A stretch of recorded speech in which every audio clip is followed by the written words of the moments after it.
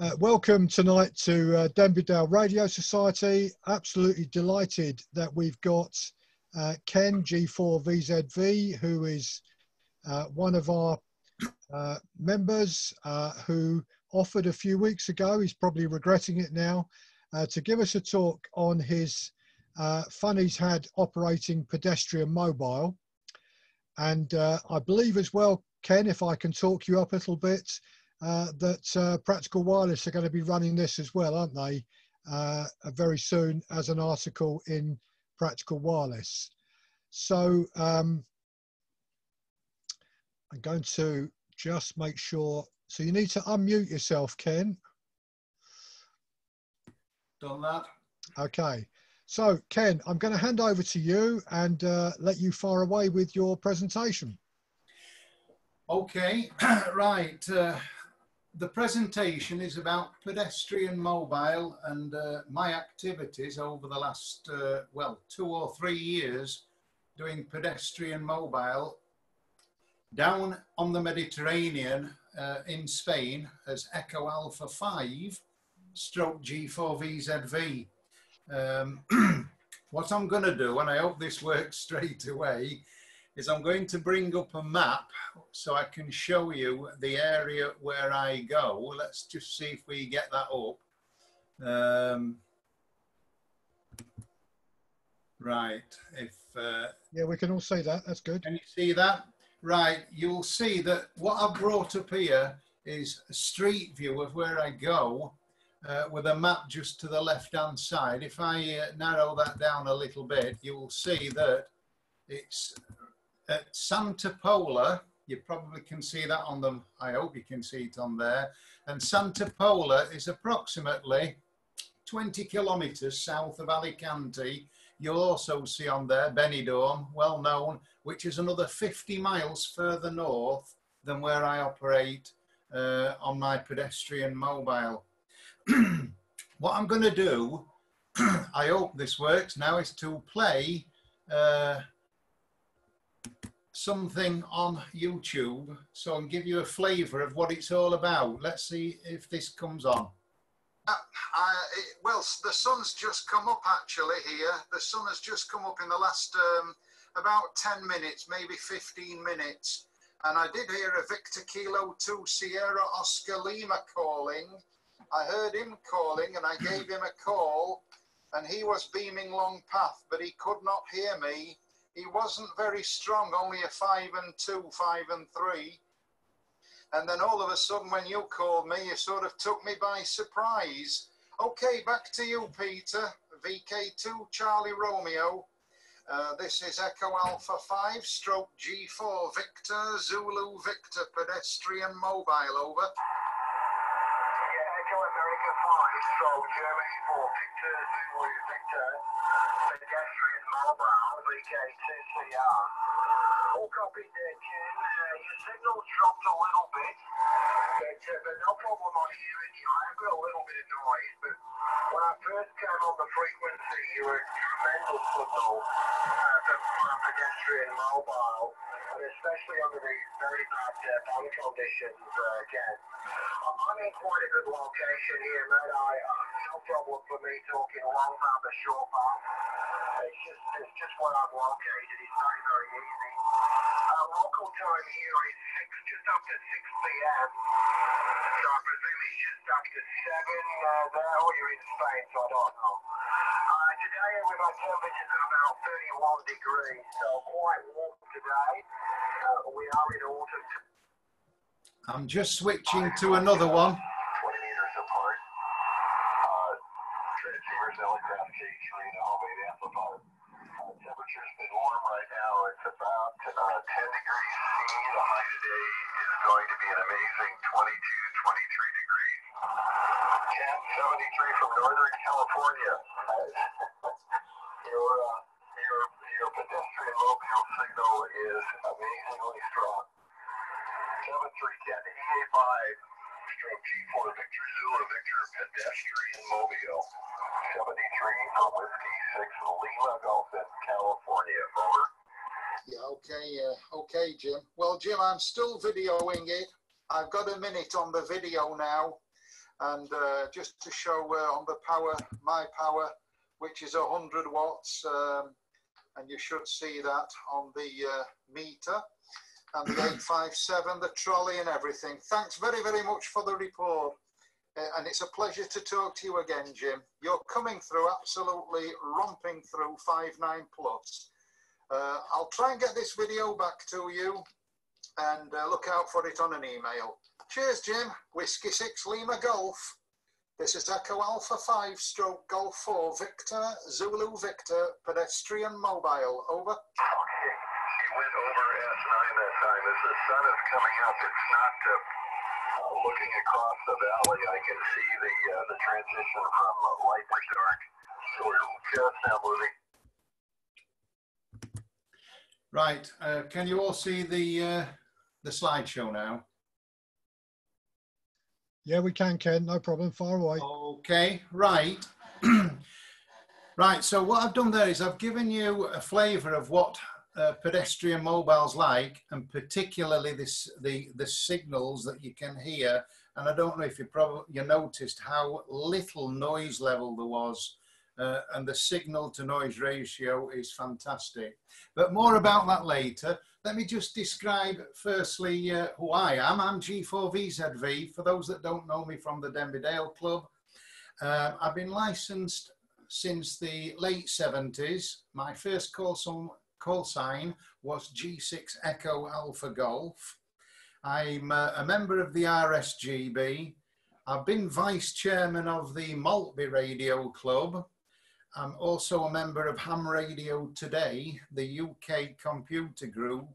I'm now a member, obviously, of the Denby Dale uh, Radio Club as well. And as Nick pointed out, um, I'm also now quite uh, heavily involved with Practical Wireless. I've got an article coming in the Practical Wireless, and I'm also giving regular band updates and reports, both on HF and on VHF. With regards to the uh, pedestrian mobile, one thing that is very noticeable is that you become quite well known. And stations like, uh, well known DX stations like VK2CR, Delta Foxtrot 2 Blue Ocean, ZS10PB, uh, Don G3XTT from PW, um, G3SED, Mike Devereux from Nevada Communications, uh, these are all big DXs and they all do know me by first name and that's come through uh, mainly through the pedestrian mobile working.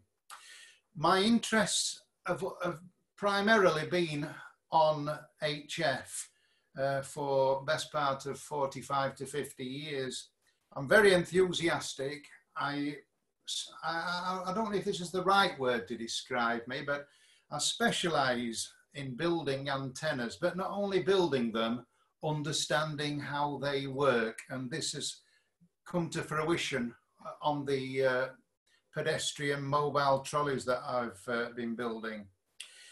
For over 25 years, I've been experimenting with antennas, which started off with me building uh, wide-spaced Yagi antennas and also building a two element and then a three cubical quad for HF.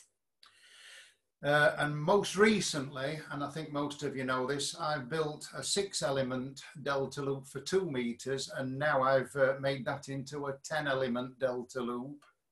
And I've experimented as recent as this last week and I've wide spaced it now.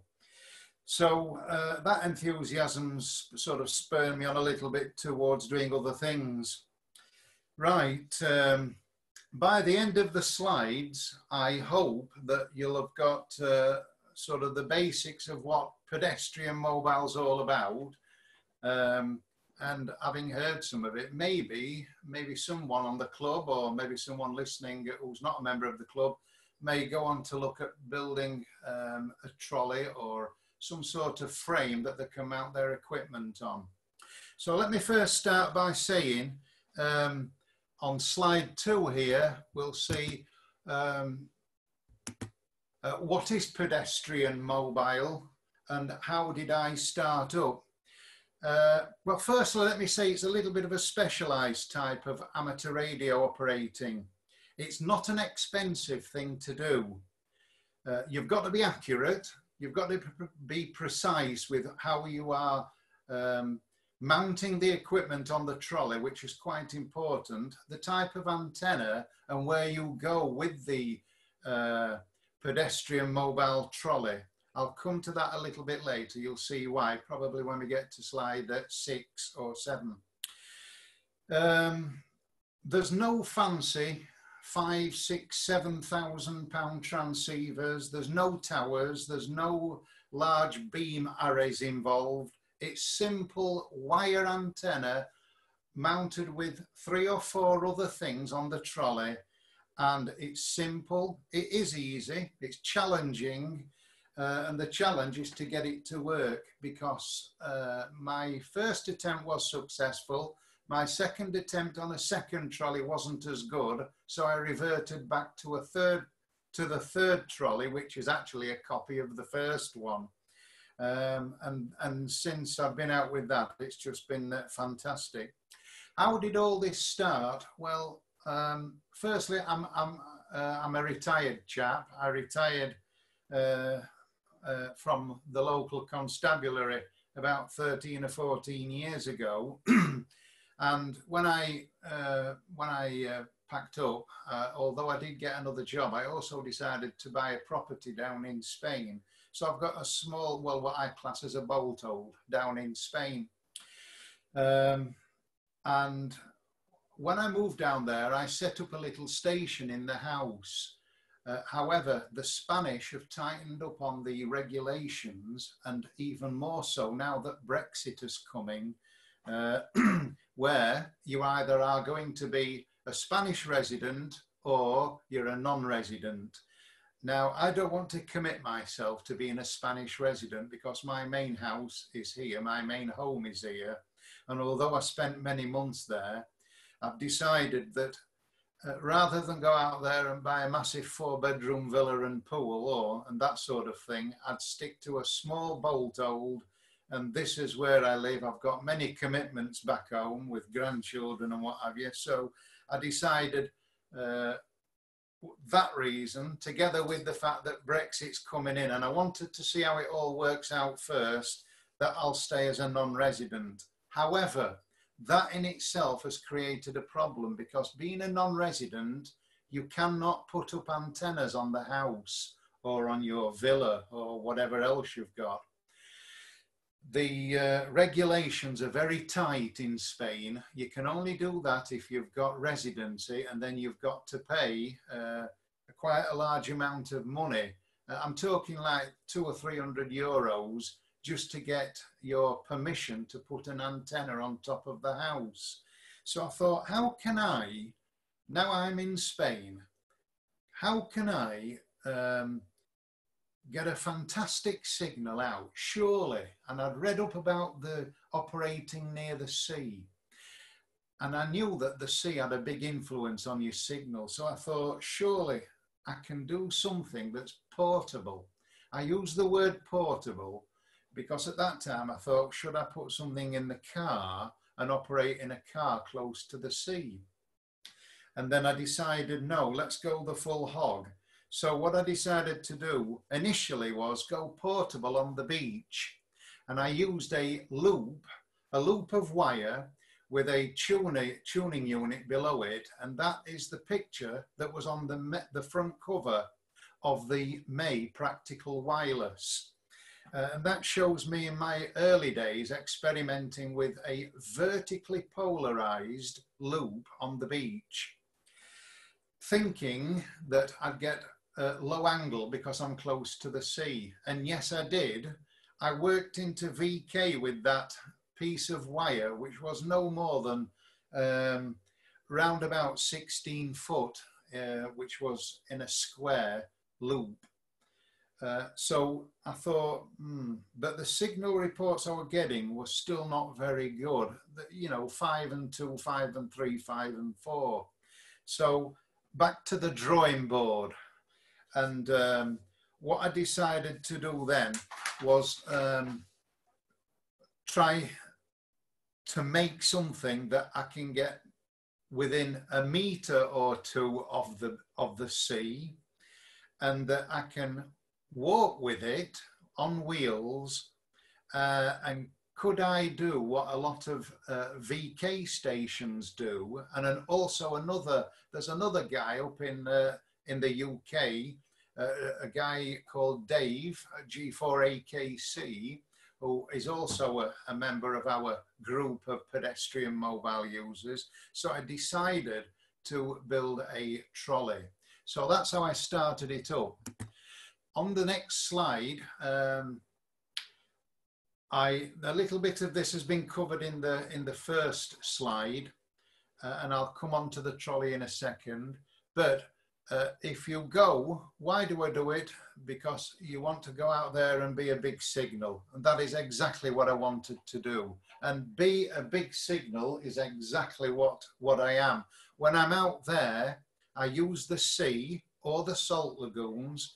I sometimes go within only a meter of the sea. I'm on wet sand or I'm right at the side of the road with, with the salt lagoons. and uh, with a vertical antenna, which is specifically a quarter wave vertical antenna, I, um, I operate from uh, a metal trolley, which is in effect a bit like a shopping trolley. It's, it's, it's actually a sack trolley. I mentioned that it's low cost. if you do want to be noticed, and you want to be noticed on the HF bands, that is definitely the way to go. The alternative is you buy a big linear, put out uh, in excess of what you should be doing, which is more than the 400 watts in the UK. You put up the biggest beam you can at 100 foot high, and then you might be a, a, an absolute uh, uh, powerful station in Europe what I can tell you is that when you work pedestrian mobile, the likes of Delta Foxtrot 2 Blue Ocean on 40 meters actually comes onto the frequency where I am and we talk together on there and we work stations together over in the Pacific, uh, VK, ZLs, and uh, sometimes over towards California. Um, that's the achievement and the results that you'll get. I've mentioned the fact that you get very low noise because you're away from buildings. Generally, you are, if you by the Salt Lakes, there's nothing around you for a few miles. And if you by the sea, well, I don't know many people that live by the sea, literally, but when I'm at the side of the, the water's edge, there's nothing around me for probably several hundred yards, some derelict buildings maybe. You don't have any restrictions. What I mean by that is there's no planning permission required. Uh, there's no EMC problems. Uh, it's fun and it's very rewarding when you can achieve the results like you heard a few minutes ago. Um, you're on you're in the outside you're in the fresh air you've got the sunlight you're exercising. What more could you really want than playing radio outside? Signal to noise ratio fantastic um, and great signals. So these are the uh, benefits for it. Right you also will create pile-ups and, and if I can I will show you a video later right at the end where uh, I'm operating calling CQ and there are that many stations calling me. I can't even work out any call signs. Um, it's so difficult I had to start going by numbers and that's me on a trolley. You do meet other radio hams uh, for example I've been visited whilst I've been there by EA5ISZ, who is well known, guy called Trevor down in uh, Alicante area. Uh, LA2PC, a guy called Ola, who runs a big station and up to two kilowatts from uh, the Alicante area. Uh, another guy, a Dutch guy, uh, Echo Alpha 5, India Tango Golf These are people that are walking by or, or have heard me on the radio, and when I give them a location, they come out to where I am and come and have a look at what I'm doing. And probably the reason for that is because they can hear me working stations that they cannot hear, never mind work. Um, you also get one or two people quite inquisitive that come up to you and ask you, uh, What are you doing? Uh, well, obviously, I know what I'm doing, but they don't. They, and, and some of these people are not English, some of them are Spanish, German, Dutch, French, and they speak in the broken English. What I, I, I, the, the funniest of all, the funniest question I've ever been asked is, Are you listening to the fish? Because I thought, Am I listening to the fish? And obviously, I'm thinking they they're not sure. I've got headphones on because obviously I want to keep the noise level pretty close to what to me, not not to other people who are walking along the beach. And they think they think I'm actually listening to fish or something. So you get some real strange types of questions. You also get people wanting to take your picture as well, um, or to stand by the trolley and have their picture taken. Um, I've mentioned uh, um, the noise level and I've mentioned that you are a big station.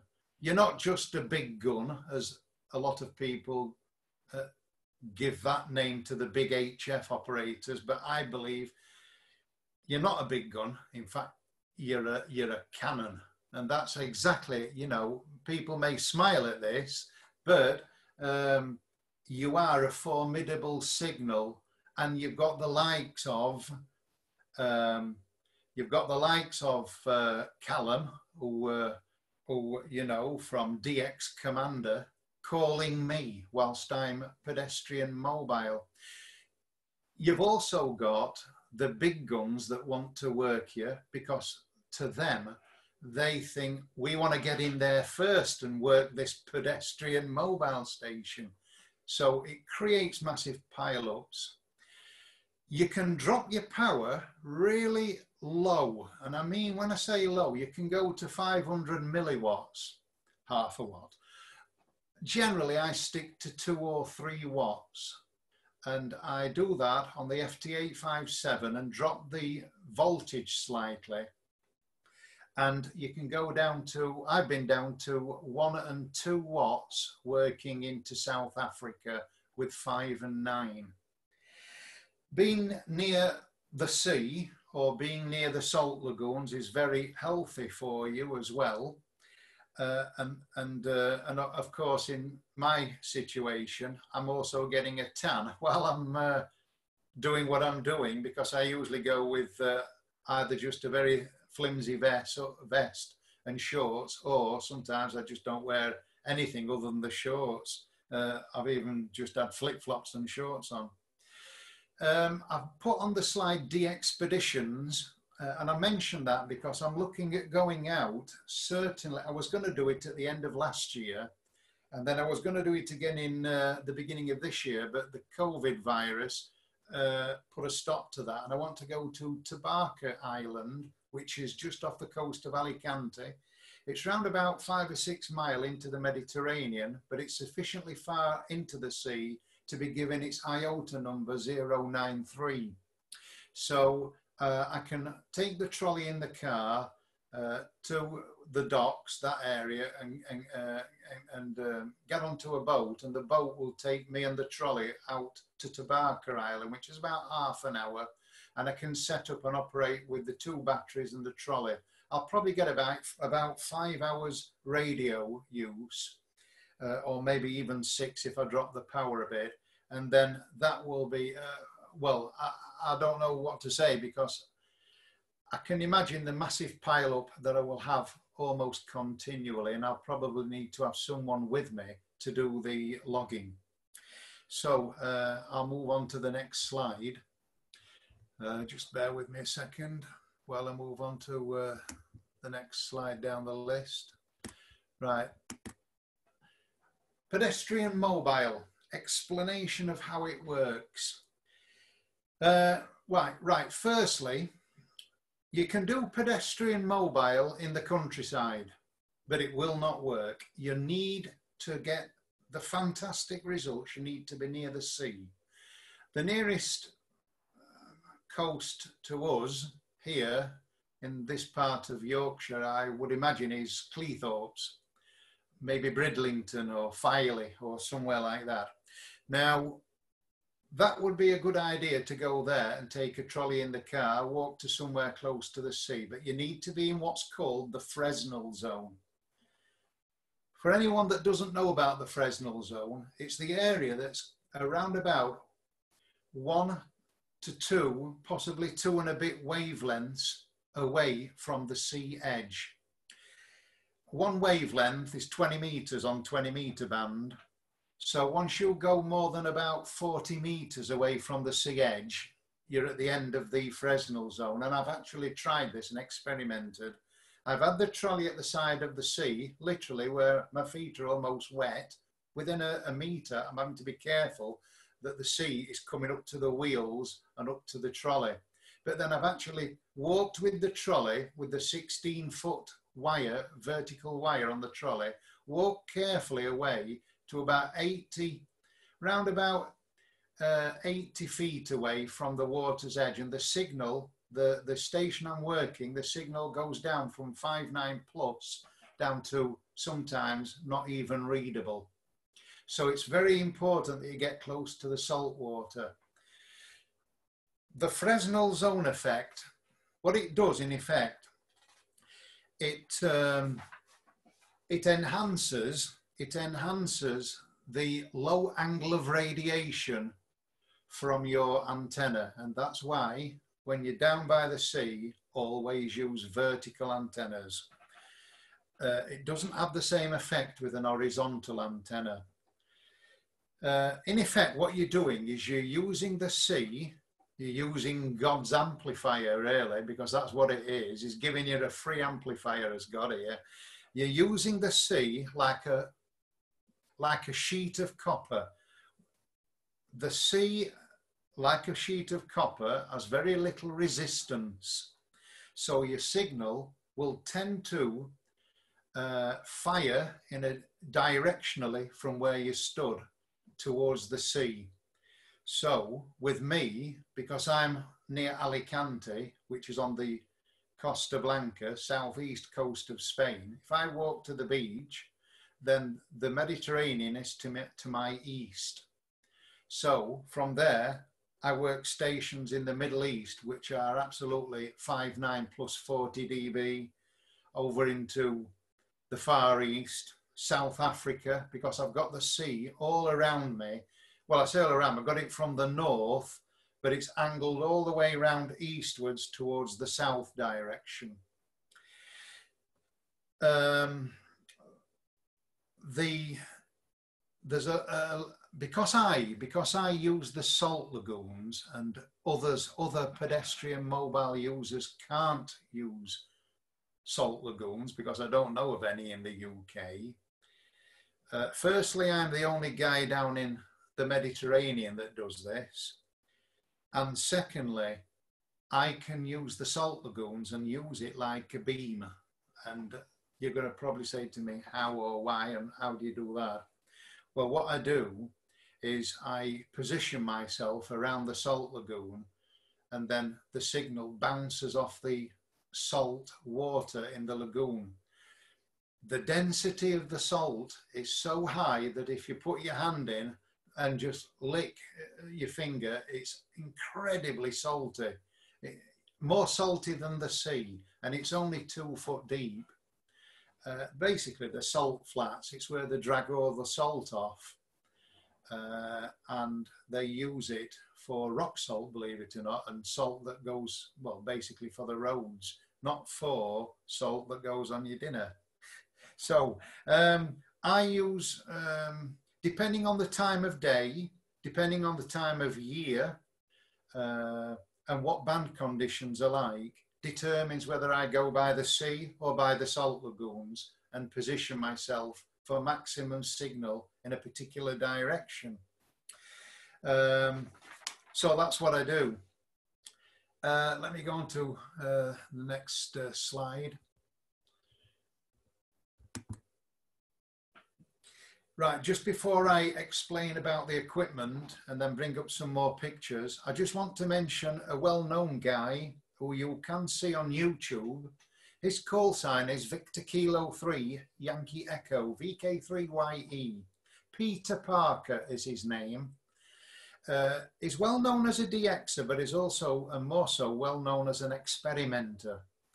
He has done lots of tests where he's gone in the sea with his feet and actually stood in the, in the sea, even trailing a wire into the sea to see if it enhances his signal. And he has done lots of experimenting and you'll see uh, and watch the videos on YouTube where you can see the noise level and how it affects how you go into the sea and the noise level goes down rapidly down to virtually nothing and how it enhances his signal. Um, right, uh, let me see if I can go back to pictures. Uh, well, let me see if I can get it with this one. Right, we've got YouTube on there. Um, here we go. Right, some pictures. Uh, right, I'm going up to the top. That's a picture of me in my early days, about 25 years ago on the left hand side in the yellow shirt. Uh, there is the picture. I'm putting the cursor over the picture on the beach, on the, the one on the right, where you see the 16 foot of wire. That was my first experiment. Here's a picture of me on the, uh, on the left here with the white shorts. That's later in the evening. You can see the bar lit up in the distance, and that's me on the radio. Uh, and um, I'm looking out to the sea, which is in an easterly direction. Uh, there's a, another picture of me with the shorts on here where I'm on the headland and I'm very close to the sea. That's just uh, on the entrance into the uh, harbour at Guardamar. the picture here on the right hand side is a picture of my, well, firstly, that's the picture of the number one trolley where, the, where I've put the cursor, um, the third one on the right. And then this picture on the far right is the picture of the trolley number two, which is a, a, a battery operated golf uh, trolley. And you can see I've mounted the equipment on there. There's the handle and the wheels. I put a wooden base on, which you can just see under there. And um, I use that as trolley number two. And that's, that's where I've taken a picture of the, of me. Well, I'm walking to the beach through the pine uh, trees, which is about 300 yards away. I mentioned that you meet people. Here is an Echo Alpha 5 station. Uh, the, sec the, the, both of these guys here are Echo Alpha 5s. Uh, this guy here uh, is uh, a guy called Joachim, who's uh, an Echo Bravo 5 station, who came out to visit me and uh, wanted his picture taking with me. This guy here, here on my trolley, is an Echo Alpha 5. He's from Torrevieja, studying directly behind my trolley. This is, this is Lima Alpha 2 Papa Charlie, the big DXer, uh, who's from Norway, but now lives down in Alicante, and he came to visit me. Uh, and a few pictures here of me, one by the sea. Now, this is by the Salt Lakes, uh, the picture next to um, Ola, LA2PC is uh, with the trolley uh, at the side of the Salt Lakes looking north, and that's looking north towards Santa Pola town. Uh, and I'm, I'm, sort of positioning myself uh, looking north using the Salt Lake to get the maximum signal up towards the north.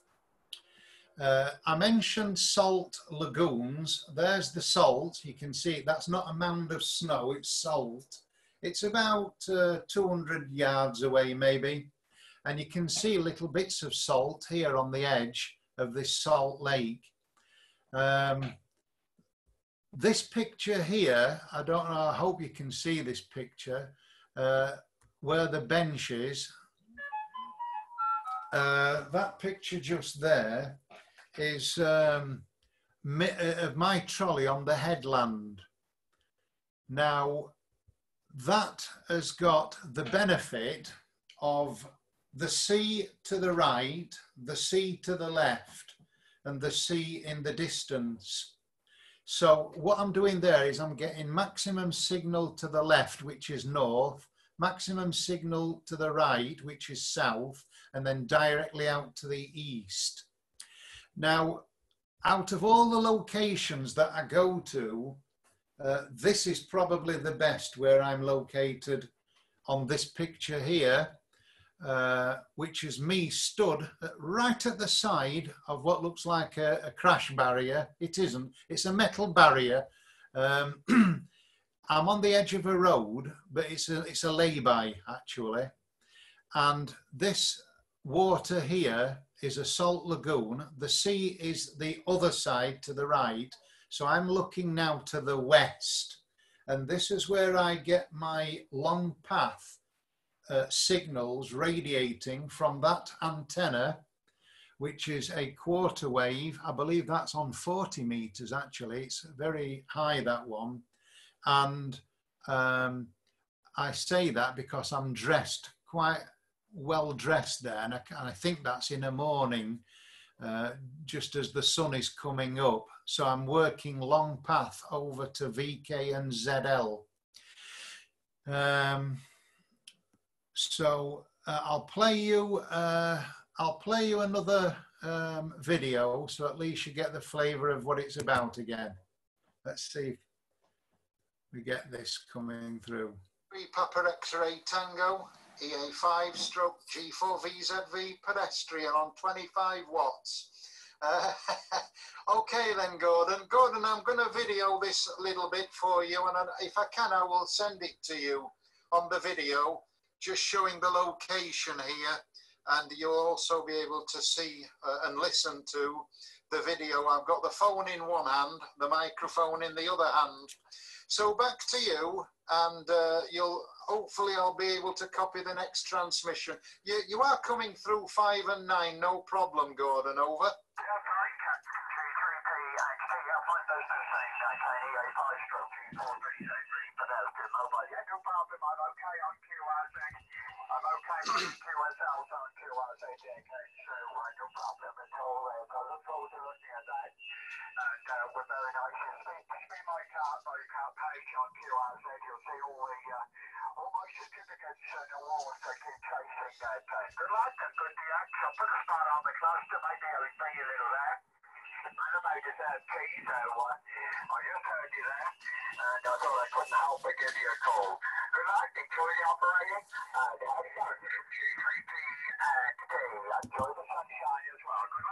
Yeah, okay there, Gordon. Yeah, well, I've got it on the video, a minute and a half, and uh, that. So, right, uh, back to the slides. That was a QSO with uh, uh, a guy in the UK, as you heard, and again, five and nine, very little noise level. Right, pedestrian, mobile, and the equipment. Firstly, you need a trolley. It needs to be a metal trolley, and the reason is you use a quarter wave vertical fastened but insulated from the trolley. The trolley becomes the earth bus what happens is you can either walk that trolley to the beach, take it in the car, or walk with it when you get to the beach. The crucial bits to this trolley are firstly the antenna, and it needs really to be a quarter wave. You can use a half wave, but you try and use a half wave on, well, a half wave on uh, 20 meter band is, is uh, quite high. You can't possibly put a half wave up on 40 meters. Uh, you just cannot do it. It's, it's far too high. You're looking at 66 foot. So you can get away with a, a quarter wave on 20, also 17, 15, 12 and 10. Uh, there are no earth radials involved in this. There are no counterpoise wires. Uh, and like I've said, you're going to use the sea or the salt areas to your advantage to get low angle radiation. I have tried as a standby aerial a 9 to 1 on on with a 23 foot vertical wire running up a pole. And it worked, but it was a couple of S points down on a quarter wave vertical. And then I'm going to come to Y in a second. Batteries, well, um, I use, uh, well, I use car batteries, but there are other types of batteries that you can use to power the equipment. Bearing in mind, you need to power the transceiver, you need to power an amplifier if you've got one on the trolley. I do have one actually, although for the first 12 months I didn't. I just used 100 watts. And um, and anything else that you may need to draw uh, 12 volts from the batteries. Uh, I use two of them, which total around about 130 or 140 amp hour. You also need an ATU, and what I've done is I've got a combined ATU with a GTU, uh, and a GTU I'll come to in a moment. I've put plastic sheet on there with question marks because when I'm using my trolley, which is made of metal, although it's got plastic wheels, it's got a base plate on it because it's a sack trolley. And the sack, uh, the, the base of the sack trolley is touching ground. And I've created a capacitance to ground by putting a plastic sheet underneath the base plate. So the trolley is totally insulated from ground. Now we come on to the critical bit about it before we go on to some questions. And that's the GTU, ground tuning unit. Um, I did mention a guy earlier, V uh, G4AKC. He's part of our group and he actually uh, is the guy that initially designed a, a, the GTU along with the uh, a VK2 station, and uh, his call sign is VK2 Papa Romeo Charlie. Right, the ground tuning unit consists of a variable capacitor, a trapped coil, uh, a meter, a couple of uh, uh, SO239s. Right, what you're doing with this ground tuning unit, and mine is part of the ATU, it's called the MFJ934, it works a little bit like an artificial earth. What you're doing is you're pushing and forcing the current, the RF current to ground. Um, you've got to remember, if you use a quarter wave vertical, a quarter wave vertical is part of a half wave dipole. So you imagine you've got your quarter wave vertical above the trolley and you've got a quarter wave of it below the trolley. You can't see it. It would normally be your ground plane. It would be your radials. It would be your counterpoise. But you're not using radials. You're not using the counterpoise. What you're doing is using a clever little box where you are uh, tuning, uh, tuning the capacitance control, the variable capacitor, uh, and a little coil inside. And what you're doing is you're forcing the, the RF current to ground, thus creating the other half or a reflection of the other half of your quarter wave vertical above the trolley.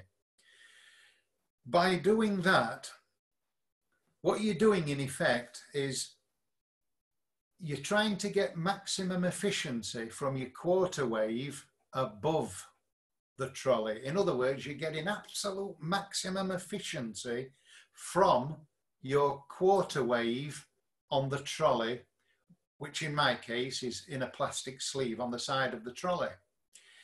once you've got that, you, what you do is as you tune the controls on the GTU, you start to see on the meter the RF current going up and it just goes up like an S meter. And in effect, you're, max, you're wanting maximum earth current. And when you get to that point, you will even hear the signals being enhanced from probably an S2 or an S3 up to an S9 plus. So that uh, device that you're using is getting maximum current to ground. You'll, it's in effect creating a ground plane. And what you're doing is you've got your perfect ground plane. It's not a sheet of copper below your trolley. It's the sea and it's the salt. Um, and it's very important because when I said to you very early on my presentation that it's easy to do, but you've got to be accurate and get it right. That's the bit you've got to get right. And that's why you get a, a very low signal to noise ratio, a very high signal to noise ratio, but you um, get a very strong S meter reading. So what you're doing is you're capacitively coupling your, your trolley, your earth bus, and you're forcing through that trolley any RF current. I, I, can see, well, I can't see your faces, but I can imagine what's going through your head. Oof, I bet he's getting a bit of a belt off his, off his trolley because you've got RF in the trolley. You've got current traveling through the trolley. Once you've tuned it very quickly, sometimes I'll, I, I have to say on odd occasions I've got a slight tingling off the trolley, but only slight, because as you as the earth uh, as the current meter goes up, any anything in the trolley has already gone into the earth, and um, you, all I can say to you is that you're going to get uh, low resistance you're also going to get any stray RF current off the trolley. Uh, you'll get 99 or 100% efficiency or as near to as you can from your quarter wave above your trolley. You've in effect got a mirror image of your quarter wave below your trolley that you can't see. It's actually in the sand or in the edge of the sea uh, and you're replicating the top half of your antenna. So that gives you the tremendous signal. Um, right, uh, I'll come on to some more pictures and, and, and another video. I've got, uh, I've left that blank uh, number eight because I was going to ask uh, if there are any questions. Um, I'm, I'm not sure. I probably will leave that till the end. So if, if you can just bear with me, I'm going to go on to now uh, slide number nine. Pedestrian mobile equipment, is there anything else you need? Well, obviously you need, you need a pen and you need something to write as a little book for your logs, your, your logbook. I carry a phone with me to take pictures, to take videos, if you're going out later in the evening, you'd need a torch, a pair of headphones, and they are basically all you need. You don't need anything else. You walk with your equipment, you've got your batteries on your base plate, and if you're going in a car, you'll transport them in the car, and when you get the trolley out of the car, you'll put your batteries on the base plate and walk to the edge of the sea. So with that, um, I'm going to see if I can go back now to uh, any more uh, pictures or, or, any more videos uh, and then uh, see what we've got on here. Uh, here's a, well, I think I'll see if I can get another one. I don't think we've just done that one right. Here's another one. Let's see if I can get this one on.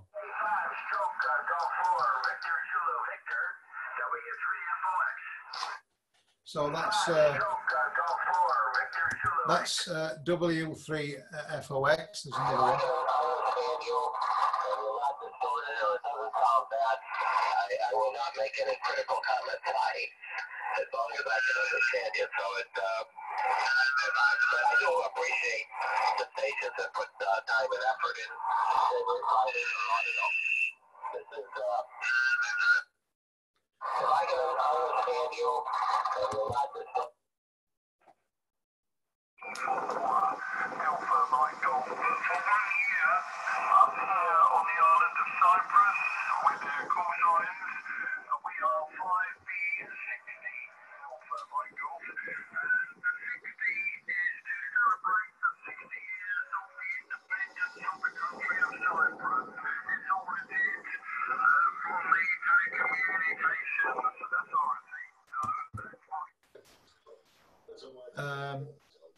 Picture there is another picture of where I go. Okay,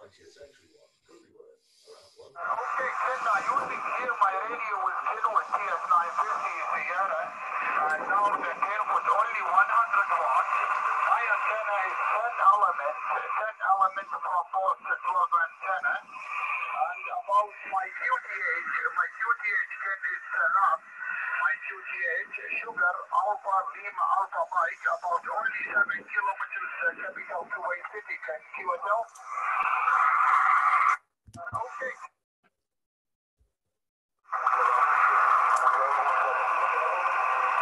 Delta Charlie, when do you call the station? Delta Charlie, go ahead.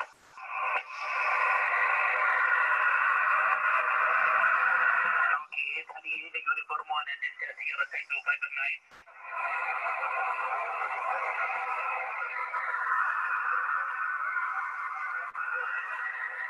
Okay, good luck and 73. Hotel 01 Tango Tango 81 at 88 orbit. warm up, uh, as it's getting well, when it's cold around the country and it's warm here, they all come uh, to the west coast, go ahead. Warms up, uh, as it's getting old.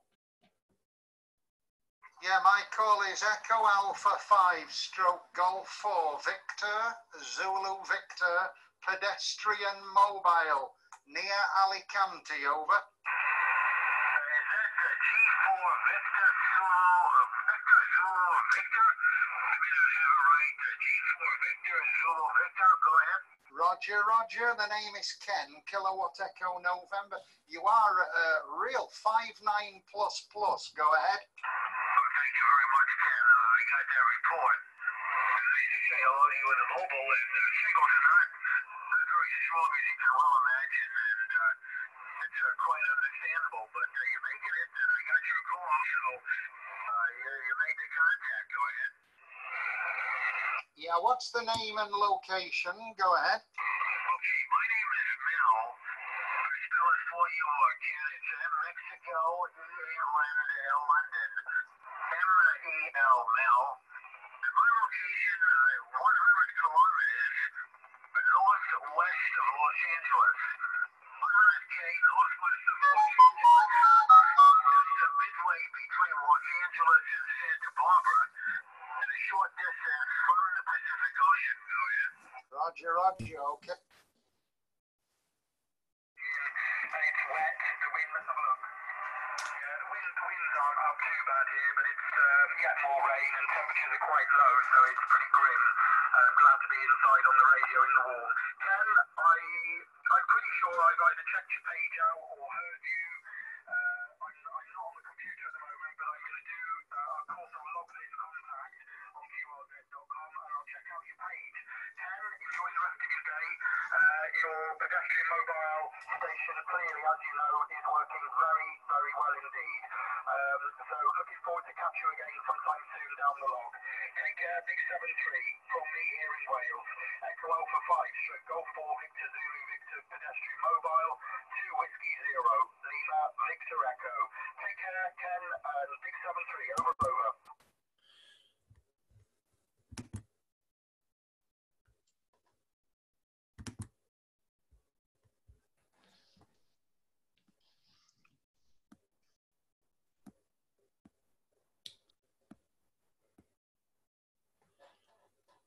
Right, let me come back now to, uh, I want to get back to the, to the video.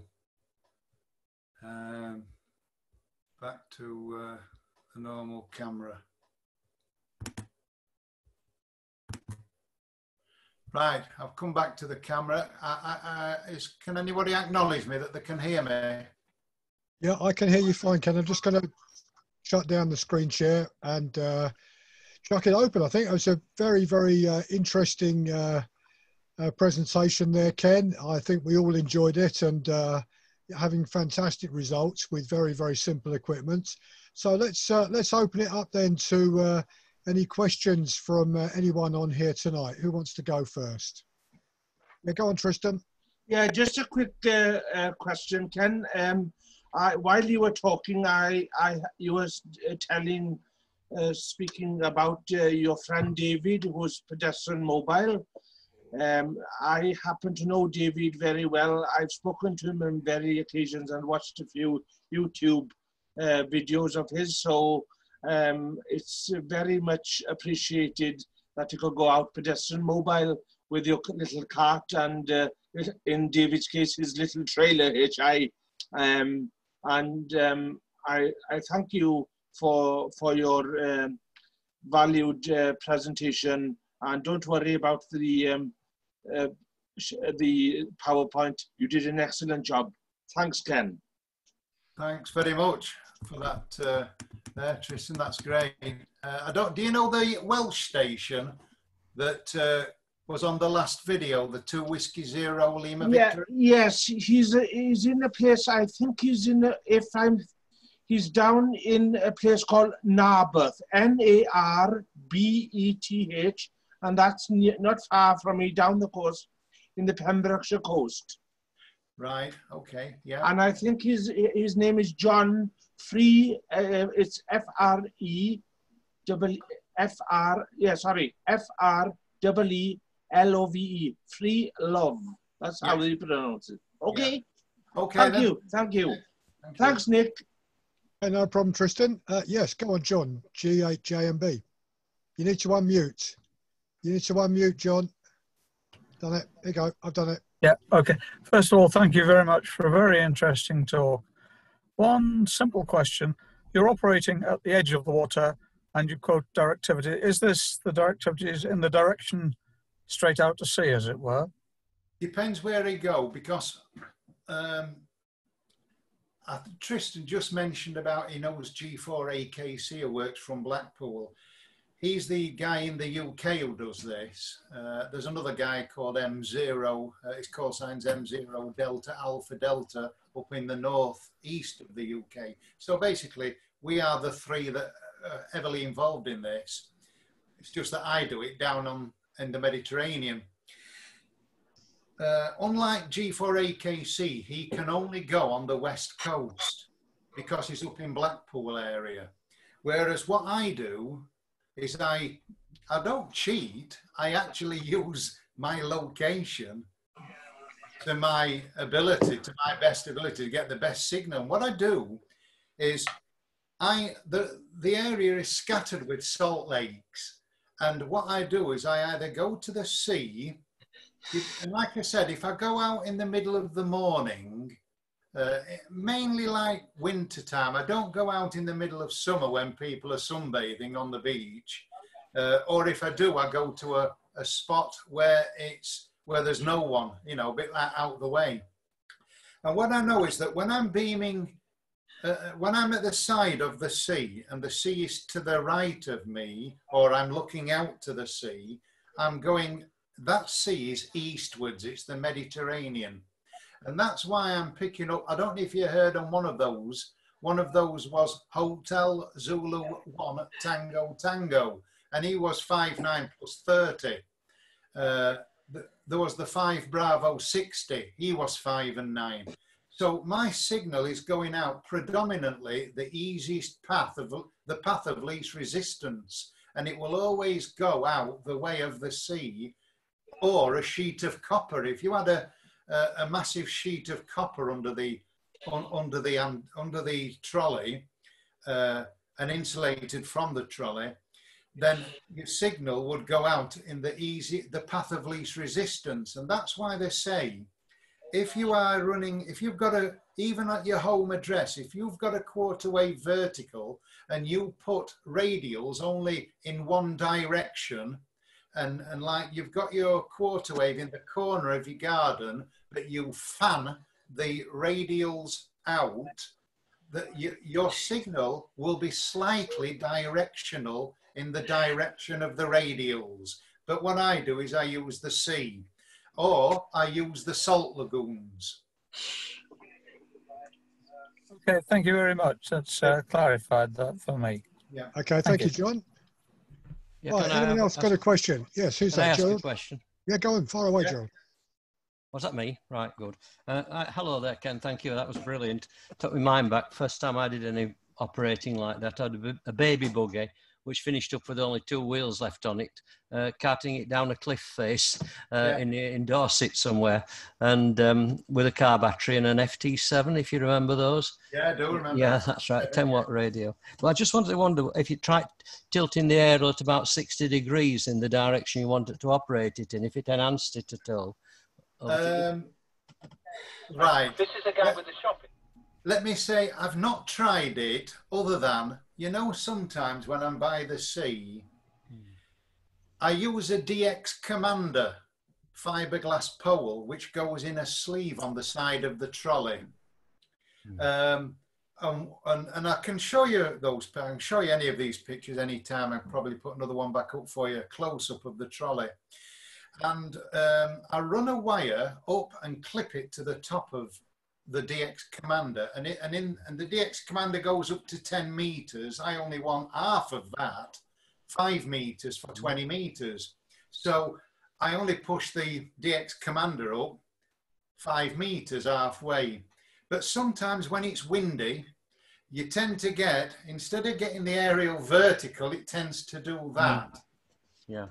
You asked me. You asked me a question. Would it enhance the signal? Um, I'm not sure.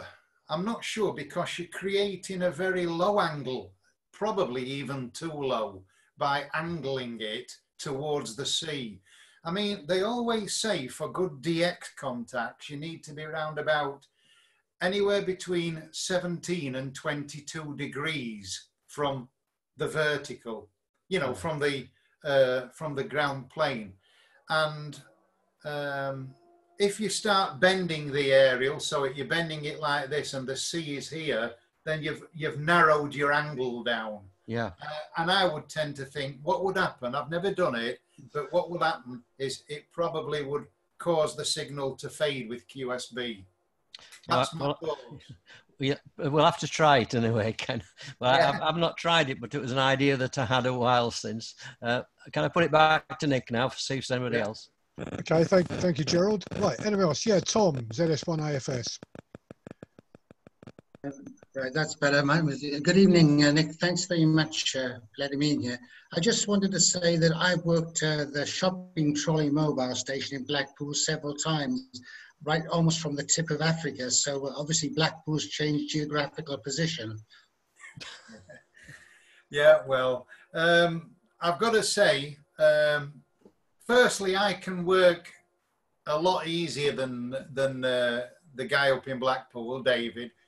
David is predominantly uh, can predominantly work over to the west and southwest, but bearing in mind signals do curve a little bit. They curve. Uh, it's a natural phenomenon, and he can work into ZD7 Victor Papa 8 down into uh, the Falkland Islands, and he can work down into Zulu Sierra, usually, usually without too much problem.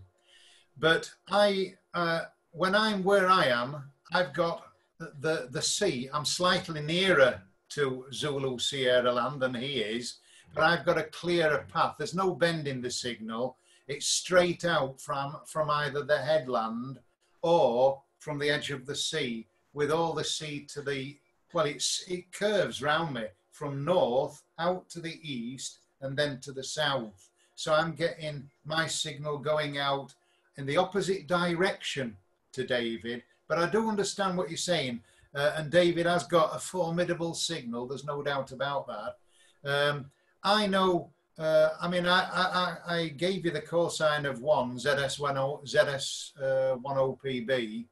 Uh, I work lots of um, stations down in uh, South Africa uh, when I'm on the pedestrian mobile. In fact, it's probably one of my favourite areas for working.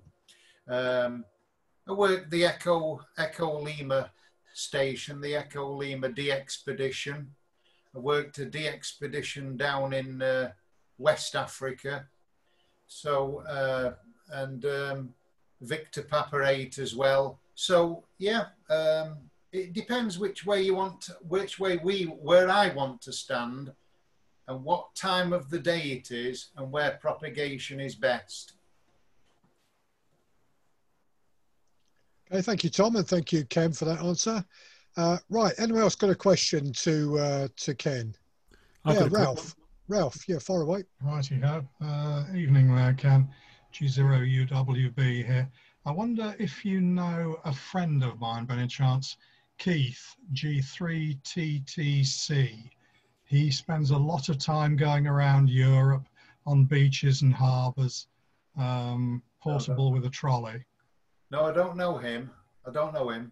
Oh, fair enough. Okay, thank you. Right, okay. What I will say about it, and, and I haven't mentioned this, um, and I've kept this right till the end.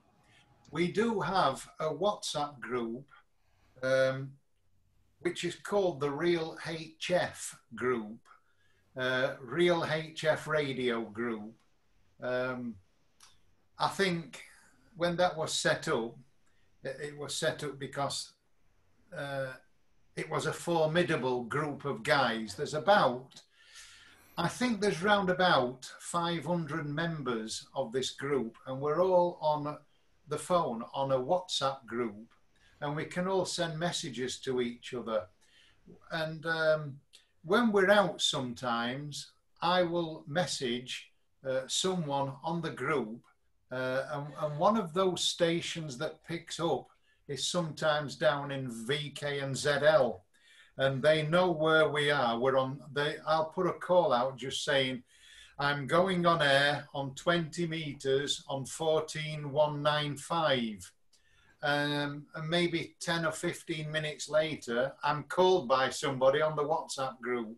Um, it's not cheating, it's just telling everyone that we're on air. Uh, and uh, we, we come on on the group that way. Um, yeah, my next visit, by the way, is going to be next week. And I'm going back down there, and I hope, bearing in mind the restrictions with COVID uh, virus, uh, I am told that I will be able to go with the trolley close to the beach and the salt lagoons, but I'm going to go to the police station first just to make sure because I don't want to be pulled up because they're uh, they're actually um, if you're not wearing a mask uh, uh, in shops and places like that, or you're within 1.5 meters of someone, you're not wearing a mask. They're quite they're they're, they're easy to fine you, and they're fining people a thousand euros at a time. And I don't want to get fined just for playing radio. so uh, there we go. Sounds sensible, Ken. Right, yeah, uh, David.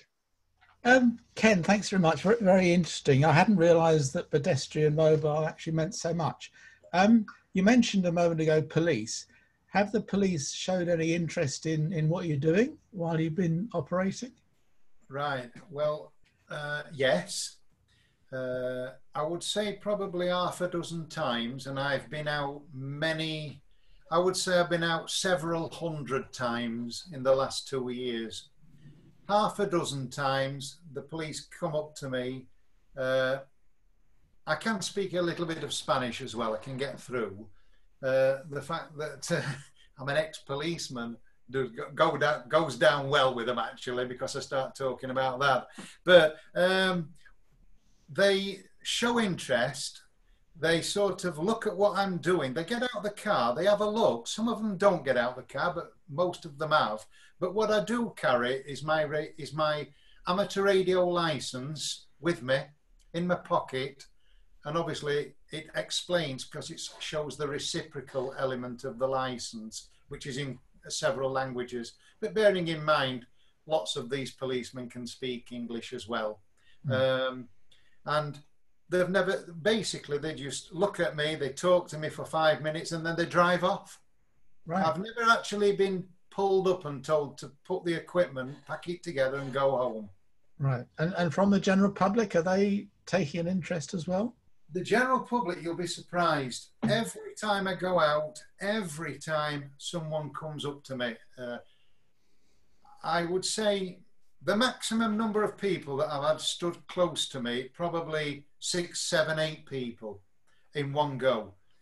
Mainly they're Spanish, uh, odd English person, but not many. They're either Spanish, German, French, or Dutch. The Dutch take a lot of interest, and you'll be surprised how many Dutch amateurs are down on the Costa Blanca, usually in motorhomes and uh, parked up further up the road, walking along the beach, and that's when they come over to me. Right. Thanks for that. Very good. Any more Okay, questions? thank you. Yeah, I've got one. okay. Shall I go? Yeah, go. Yeah, go. Sorry, hey, uh, Ken, thanks for the talk. Um, your trolley, I notice you've got something down towards the bottom of it that's got a, a, a big heat sink on. Is that uh, some kind of linear or, or, Yeah, or what is that? Yes, it is. Um, one or two of you are going to sort of laugh at this, I think. I've got what's called an RM. You all, maybe some of you do know them. RM Italian amplifier. An RM405V is the model number. It'll put out, they say, 400 watts SSB. You know, and I know it doesn't. It- They don't. They they don't put that much out. They probably put half of that power out if you're lucky. The maximum power I've got out from my RM amplifier is 180 watts. Um, and uh, it has a fan on the top. It does give me a little edge. I don't put it on unless I really need to. And the reason why I don't is because I'm carrying two batteries with me. One powers the radio, one powers the linear.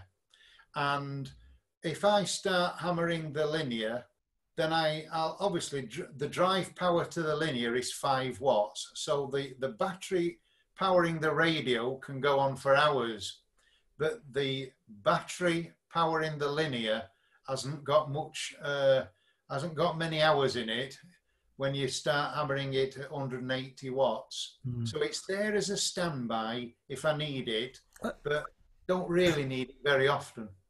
I wonder why you use that rather than the power output of the, the radio. Don't those radios go up to 100 watts? Yes, they do. Um, they do, but if I just use the radio without a linear, the maximum power I would have is 100. With the linear, obviously, I'm looking at anywhere up to 200 watts uh, SSB. Um, if the, I mean, the difference between 100 and 200 watts is not very much. Mm. If it's one S point, it might even be two, but I, you know, that's it. But it is the difference between getting through. And I mentioned about the pile-ups earlier. Um, when I was working the station uh, that was in Eritrea um, in East Africa, there was a pile-up, and I called him on 100 watts straight from the radio, and he wouldn't pick, couldn't pick me up. And then I put the amplifier on up to about 150, 160 watts. And then he told everyone else to stand by while he could hear the pedestrian station. And some people couldn't, or may ask me, well, why don't you use stroke portable? Why do you use stroke pedestrian mobile? Much more Well- unusual. It's more unusual, and I've got wheels, and I do walk with it, so I class it as pedestrian mobile. Yep. Okay. Thank you. Yeah, thank you, Russell. Uh, David, G0 Uh, you, you, you, you, you, EVA. you chimed out then, just a bit of a glitch on the whichever. Yeah, far away, Great- David. Great talk, Ken. Thank you very much. It's given me inspiration. I've been working for about two years on getting bicycle mobile, um, but my bicycle ride is not too good given that my balance isn't clever. So I'm actually looking at an electric trike with a trolley on the back, uh, or a, a trailer on the back. Um, any ad, any advice as to how I might go? I've got an RM505, laugh, laugh. Um, I've got a small battery to run a portable. I can easily get a car battery because when I was first licensed with a 100 watt radio, that's what I ran off a car battery on a, on a float charge. So I've no fears about that or anything else uh, to do with power. Um, any ad- any advice on how to go about it? Well, um, right, very quickly, I did consider um, uh, uh, a little um, uh, disabled vehicle. You know, the the the little um, scooters that they ride around. Yeah. And I thought, if I got one of those, and I put a little trailer on the back, and I could get a few miles out of it, I can get on there. I don't have to walk. I don't have to drag my trolley. I can go straight along. Exactly. a trolley in a trailer, or just build the equipment in the trailer. Yes, I would say that is on the cards for me. I hope not for a long time because I want to, while ever I'm walking, I want to use my legs. But if if if it was a situation where you couldn't, you're not mobile enough, or um, you wanted to work some DX and you could put, say, uh, one of these scooters in a car, there would be nothing stopping you mounting the equipment on the scooter itself or a very small trolley on the back. What you've got to remember is this trolley has got to be made of metal because it becomes an earth. Um, and then, like I mentioned earlier, you're capacitively coupling into earth. So you need something made of metal. And what I did on my trolley is to enhance it to make sure that I have got maximum continuity between each part of the trolley, which is vertical, is I put wire between each part of the trolley to make sure I got total continuity. You got that? And also, I bolted the earth wire to the trolley on the base plate. I bolted it on it. And um, my initial test with a massive big crocodile clip, it was it was good, but it, but it wasn't as good as when I'd bolted the earth and I used earth strapping from UR67 Yeah. on the trolley. That was brilliant. So all I'll say is, if you can get a good earth onto your metal trailer, and you can put a little sleeve in the corner of your trailer, just it don't have to be 16 and a half foot. That's just for 20 meters. Eight and a half or nine foot for 10 meters. Eight foot maybe, um, or 12 foot for uh, is it 15 meter band? Um, that's all you need. So you can do it. It's just um, what your preference is. The reason I haven't done it in Spain at the moment, by the way, is because there's a big purge on these people that are using scooters. Yeah. They're, take, they're checking you out to make sure, firstly, that you are in fact unable to walk and disabled, because there's so many of these idiots in Benidorm that have actually hired them and stolen them and run all the way around Benidorm with them like idiots on the front. So the, the police have done a big purge on it. So yeah, I hope that answers your question there. Those thanks. Um, the, the reason is that um, I'm partially sighted and I can't drive. And I, Yeah. wa- I have got a, a shopping trolley spare, all, all the frame spare. I've, I've actually worn out the bag um, that I might press into service and carry that in the on the back. And the the, tr- the trailer on the um, trike, the trike is for mobility because it's got a 40 mile range Yeah. rather than because I can't drive, I can actually uh, pedal a bit, and if if the battery runs out, I can pedal. so I'm not actually stuck in the middle of nowhere. Right. Where would you I've- use it? done- Sorry, Where would you use it? um, height is might. I would use it to go somewhere like up on the Pennines. Right. All I'm going to say to you though is that I know, I know, I know what you said. I know what you said. work as good.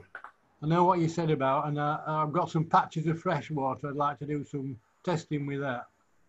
Black, Yeah. Blackmoorfoot Res seems like a good place since I used to live near there. Well, there have been some tests, and some people have experimented with putting a trolley at the side of fresh water uh, as different to salt water. And the results that come back are that it does actually enhance the signal a little bit, but only a fraction, only a fraction. Bet, Whereas bet, you go by the sea, it's tremendous. better than grit, dry gritstone on top of a mountain, though. Yeah, yeah, yeah. Absolutely. Yeah, can I just uh, come in on that one, please? It's going Gerald fire. Yeah, yeah. Yeah, the, it's even better when you get right up on above the gritstone onto the peat hags because the peat has a the acid in it plus the acid in the water. Back to you, Nick. Yeah, thank you. Right, anyone else um, got a question to Ken Uh, before we call Terry? it? Hello, Nick. Yeah. Uh, Can can you hear me? It's uh, Mike Zero DUK. Yeah, go on, fire away. Hi there. Uh, hello, everybody. Um, uh, Ken, thank you very much for a very interesting talk. I'm very sorry I seem to have lost the video on um, this little icon, so I'm restricted to audio. Um, I just wanted to ask uh, a very general question, um, a little bit ignorant question, really, but um, you know, obviously, um, uh, because of Ken's talk was on salt water, um, there's nothing as close to salt water than sailing on it. What what is the current um, position using the VHF mobile on a maritime vehicle? Would you have to have properly a marine license, or could you use marine portable on on salt water on a vehicle? Uh, back to you. Um, I don't know if I, par- I may have only partially understood that, but um, are you asking me about marine band or, are- or are you asking me about amateur band and amateur frequencies but going on the sea? Uh, that's correct, Nick. Yeah, um, the position when you take your small VHF portable onto the deck off a boat and would be operating maritime mobile. Uh, in terms of um, the 157 frequency, which is the ship-to-ship marine frequencies, does that uh, violate your license, or can you basically use it to contact repeaters on the deck of a boat? Back to you. Well, firstly, I mean, I, I don't know, I don't know the legislation regarding uh, marine uh, mobile. I mean, if you're licensed, I, I don't think there's any problem with using VHF, UHF repeaters. Um, I thought you may have asked me, is there any difference with the signal on VHF or UHF? Um, but you haven't asked me that. You're asking me more about whether it would be right to use it. Would you get away with it? I don't. My my thoughts are that if you want to use your amateur license and you want to use the amateur frequencies, uh, go on go on uh, um, on mo- uh, on um, on a boat. You, you, you, you're not uh, you're not breaking any rules, provided, and I think the only rule that you, you would break is if you came into the harbour. I don't think you're allowed to work within. Uh, is it uh, one mile of a har- inside the harbour? And that that's the only thing I know about that. Um, Can I come in on that, Ken? Yes. Go on, far away, Darren. Yeah. Um, to operate maritime mobile, yes, you can use an amateur radio license. First of all, if it's a commercial uh, boat, you have to have um, permission of it. I think the license is the master of the ship or the captain, as uh, we would know them. So you've got to get permission there. Uh, you couldn't just go on a ferry and start operating. You will be um, breaking your license. And there is, uh, you've got to be in international waters. So if you're just off a coastline, you're not in international waters. Um, and I will stand corrected. I think that's, I can't remember whether it's two or five kilometres um, to operate because I, I've, I've operated several times maritime mobile. Um, so I've looked up the rules. Yeah, thank, thank you very much, guys. Uh, just, just to add to that, um, obviously the maritime frequencies are split over 60 um, uh, VHF frequencies. Uh, obviously, they all have different designated use, one of which is the, F, the AFS distress signal. So, you know, if one is using a maritime frequency, one has to do it with caution. But uh, I, I know I digress a little bit from Ken's talk, but um, obviously, Ken, if you want to take it from a saltwater point of view, uh, is there a difference um, using the UH and VHF on saltwater? Good question. I've got to hold my hand up and say I've never tried it. Um, I have considered trying six meters, which is VHF, isn't it? Six meters does come under the VHF bands. Um, I don't know. The, the honest answer here is I don't know if it would enhance it at all because what you're looking for is an angle of radiation that's quite sharp, which is suitable and uh, best for HF bands. And bearing in mind, you're looking for something, what, what's called a multi hop of propagation. So it's all geared up to HF. I, I, I don't think for one minute it would really enhance the HF, uh, the VHF or UHF. I've never tried it. I know I've got that on my FT857, but I've never done it. Uh, I even had my doubts whether six meters and putting up a little aerial that was one and a half meters high, quarter wave for six meters, would work. And I don't think it will very well. And I think that's why they resort to having horizontal beams. Don't know if that answers your question. Yeah, that's fine. Thank you very much, uh, Ken. Yeah. Uh, back to you, Nick. Yeah, okay. Thank you, Ken, for that, and uh, thanks for the question. Uh, ju- just, just, just to clarify, just to add to Darren's contribution there, uh, the amateur radio license, of course, only allows us to transmit on the frequencies for which our licenses apply. So we are not allowed to transmit on the VHF FM uh, maritime frequencies. You need a specific license that in the UK is issued by Ofcom for operating on those frequencies. Um, right, anyone else got a question? Anyone else got a hand up? Hasn't asked a question yet, David? I'll come back to you if no one else is there. Otherwise, uh, right, yeah, Richard, GCX.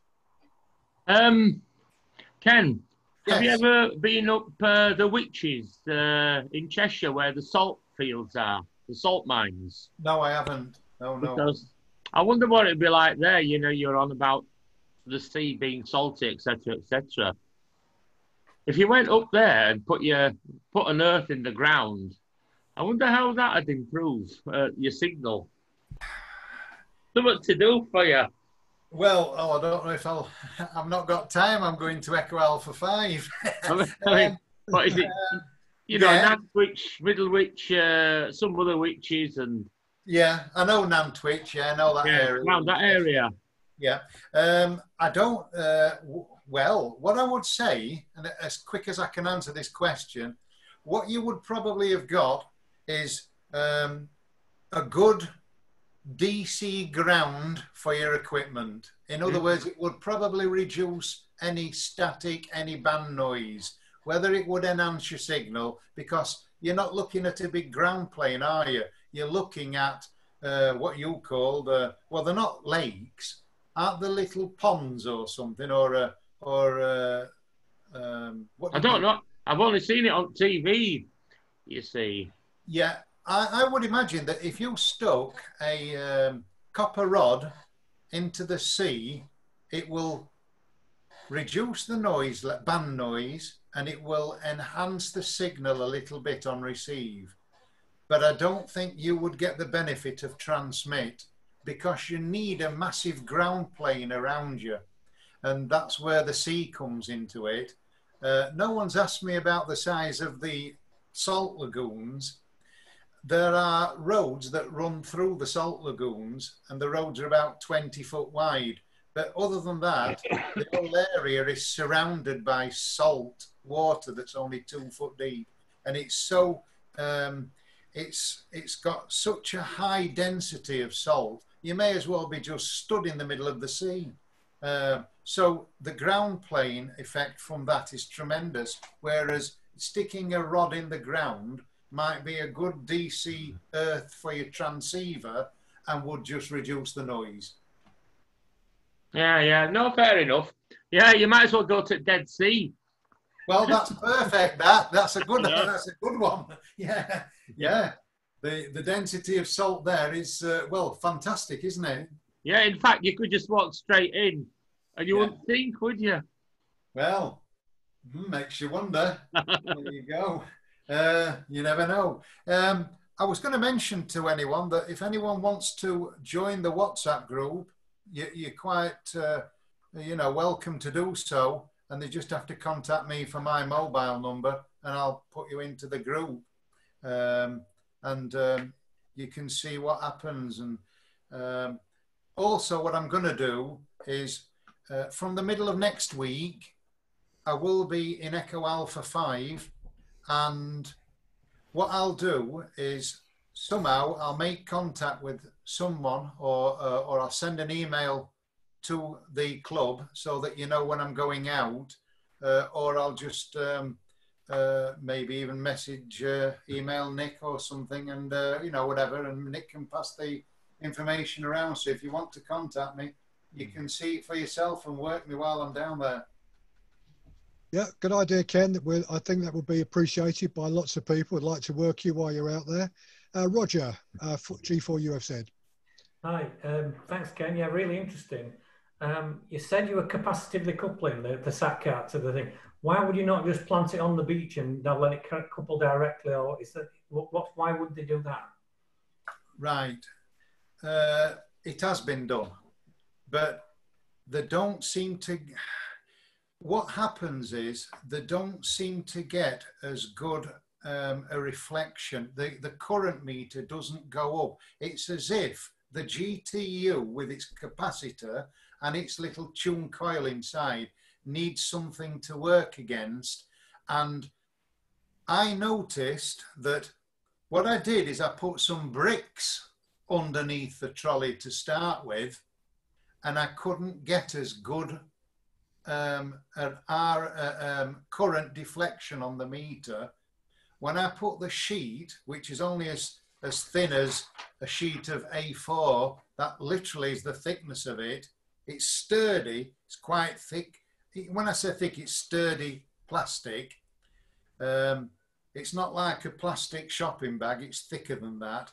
Um, when I put that under the trolley, the current meter went straight up as high as it would go on deflection. And I think I can only say to you it's because because you're giving it uh, it's, it's working like a capacitor. That's why they say it's capacitively coupled and it's giving something to push against. Uh, that's the only thing I can suggest. I don't know if anyone else would have any input on that. That's fascinating. And you, you just imagine point. You want a proper earth connection, but the sat cart's doing its job. And then, yeah. and like you say, you don't want a, a, the physical connection. You just want the capacitive link. That's fascinating. That's right. Yeah. Thank you. All right then, uh, Roger. Thanks, Roger. Right.